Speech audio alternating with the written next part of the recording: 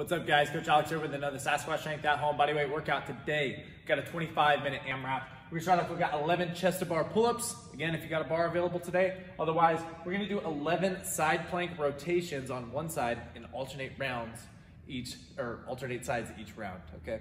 Then we're gonna go three glute bridge walkouts, and then we've got 10 handstand push-ups or pike push-ups. So let's take a look at our movements and modifications. All right, guys, so for this 25 minute AMRAP again, you're gonna start off with your 11 chest up bar pull-ups. If you can do that butterfly, kipping, strict, however you can get it done, let's get that done.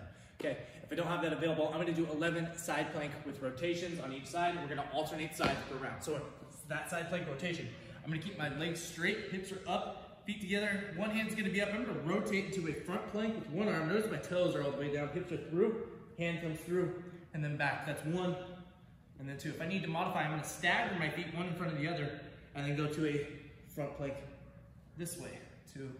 But I gotta move those hips, okay? We're gonna get through 11. Then we're gonna move on. We've got three glute bridge walkout. You're already on your back, okay? Flip it up. We're gonna keep our hips extended for as long as possible while we walk out, straighten out our legs, come back up to a nice high bridge, and then back out.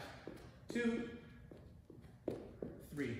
My modification, hey, don't go very far if that's too hard for you, okay? And then we're gonna finish up with 10 handstand push-ups. Okay, if we need to modify, we're gonna do our pike push-up today. I'm gonna keep my hips high, legs straight, come to the, down to that tripod, and then press up with a fully locked up shoulder every time. Okay, to make that a little bit tougher, I can always go feet up on the box.